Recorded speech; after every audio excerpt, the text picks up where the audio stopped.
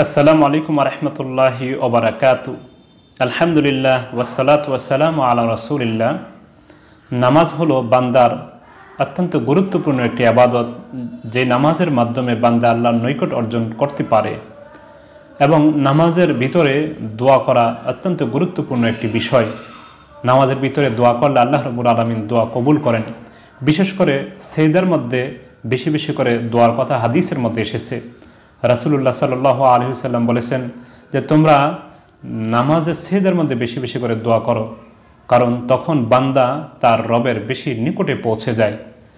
এবং নামাজের সালাম ফেরানোর পূর্বে একটি গুরুত্বপূর্ণ মুহূর্ত, যখন দোয়া বান্দার কবুল করেন আল্লাহ রবুল্লা আলমিন।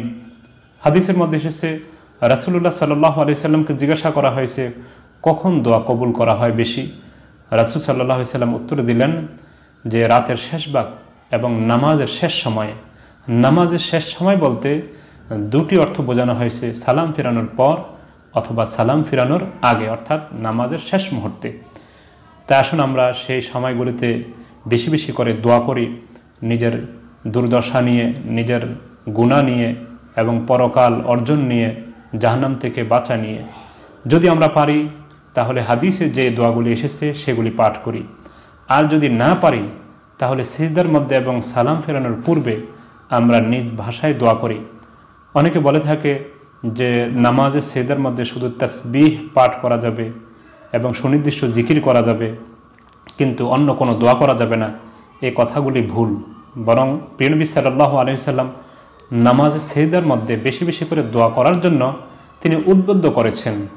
এবার আসি দ্বিতীয় কথায়, যে আমি তো আরবি দোয়া পারি না তাহলে নিজের কথাটাকে কীভাবে বলব? আপনি আপনার নিজের কথাটা নিজের ভাষায় বলবেন। যে কোনো সমস্যায় পড়লে আপনি সরাসরি আপনার ভাষায় বলবেন, আল্লাহ, আপনি আমার সমস্যাটিকে দূর করে দিন। যে কোনো কিছুর প্রয়োজন হলে বলবেন, হে আল্লাহ, আপনি তো জানেন আমার কি প্রয়োজন আছে, সেটা আপনি পূরণ করে দিন। যে কোনো মুসিবতে পড়লে আপনি বলবেন, হে আল্লাহ, আপনি তো দেখছেন আমি কি মুসিবতে আছি, সেই মুসিবত থেকে আমাকে উদ্ধার করেন। এভাবে সামষ্টিকভাবে আপনি নিজ ভাষায় বাংলায় বা অন্য যে কোনো ভাষায় নামাজে সেদায় এবং সালাম ফিরানোর পূর্বে দোয়া করতে পারবেন, এত কোনো নিষেধ নাই। যদি অনেকে বলে থাকে যে অন্য ভাষায় দোয়া করা যাবে না, কিন্তু আল্লাহ রবুল আলমিন তো সব ভাষায় বুঝেন, আর আল্লাহ রবুল আলমিন এটাও জানেন, সবাই আরবি ভাষা পারবে না, সব দিক থেকে সে বিজ্ঞ হবে না। তাহলে সে ব্যক্তির প্রয়োজন, সে ব্যক্তির ইচ্ছা কীভাবে পেশ করবে আল্লাহ রব্বুল আলমীর নিকটে? এজন্য হাদিসে এ কথা নিষেধ নেই যে নিজ বাসায় দোয়া করা যাবে না। আশা করি বিষয়টি বুঝতে পেরেছেন।